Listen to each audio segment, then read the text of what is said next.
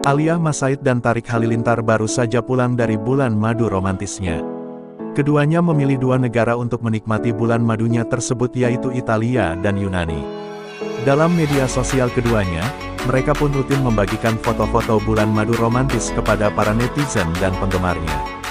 Dalam unggahan tersebut, tampak Alia Masaid dan Tarik pun mengunjungi tempat ikonik negara tersebut hingga kuliner khas. Tak hanya itu, saat bulan madu penampilan Alia Masai pun tampil dengan berbagai gaya menarik perhatian setelah resmi menjadi istri dari Tarik. Tak melulu mengenakan outfit branded, ternyata Alia pun mengenakan pakaian dengan harga terjangkau. Penasaran seperti apa penampilan Alia saat bulan madu mengenakan dress di bawah harga 300 rupiah ribuan intip.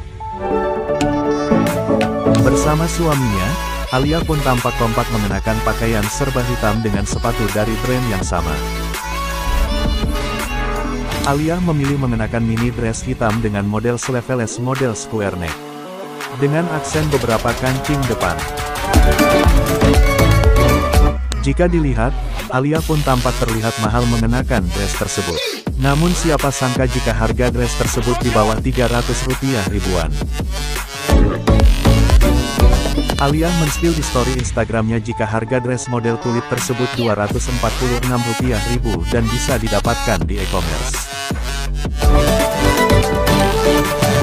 Dress tersebut terbilang cukup terjangkau, namun Alia memadukannya dengan tas Hermes warna beige dan letter coklat pada bagian atas.